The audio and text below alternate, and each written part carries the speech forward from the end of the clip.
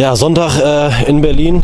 Ähm, Union, ja. Äh, deutsche Hauptstadt. Äh, Union ist für mich ein total sympathischer Verein. Ähm, super Fanszene, die das Stadion auch selber gebaut haben. Super Stimmung. Und ähm, ja, ich freue mich drauf, Sonntag ins Stadion zu laufen und dann äh, hoffentlich mit dem Dreier nach Hause zu fahren.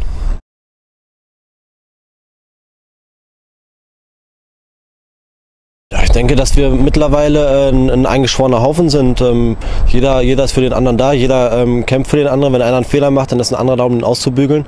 Und das hat uns, denke ich, im äh, Laufe der Saison auch ausgezeichnet. Wir hatten am Anfang ein paar, paar Schwierigkeiten ins Jahr zu kommen, äh, aber mittlerweile, denke ich, ähm, können wir solche Ausfälle auch gut kompensieren.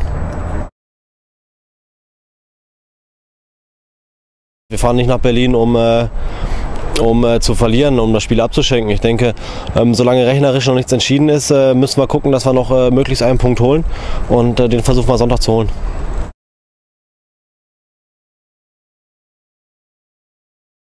Am Anfang hatten wir ähm, Riesenschwierigkeiten in die Saison zu kommen, ähm, was das verschiedene Gründe hatte, die, äh, die wir auch aufgearbeitet haben. Und ähm, ja, wir haben uns dann irgendwann einfach ähm, zu einer verschworenen Einheit entwickelt. Also das ist, äh, ist ein schleichender Prozess, ähm, aber ähm, den, wir, den wir sehr gut umgesetzt haben. ja, dann gewinnst du auch ein paar Spiele, dann steigt das Selbstvertrauen. Mittlerweile sind wir seit sieben Spielen ungeschlagen und äh, versuchen wir noch die nächsten zwei Spiele äh, ja, das so zu lassen.